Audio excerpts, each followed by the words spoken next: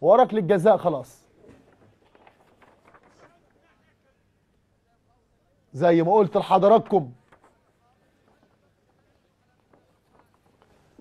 هنشوف سيناريو ركلة الجزاء اللي قلت لحضراتكم رقم 84 في بطولة الدوري المصري العام. وهنشوف هتتنفذ إزاي.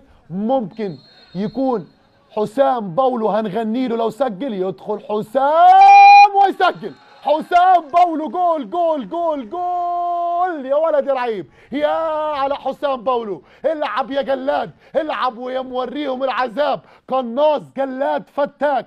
المجنون يمزق الشباك. تسديدة بوم وحسام باولو. يصبح هدافا للدوري المصري العام ويغرد بالهدف رقم 14 حسام سلامة أو حسام باولو يسجل هدف ال 14 وهدفه الأول في اللقاء. تسديدة قوية على يسار الحارس أحمد سعد.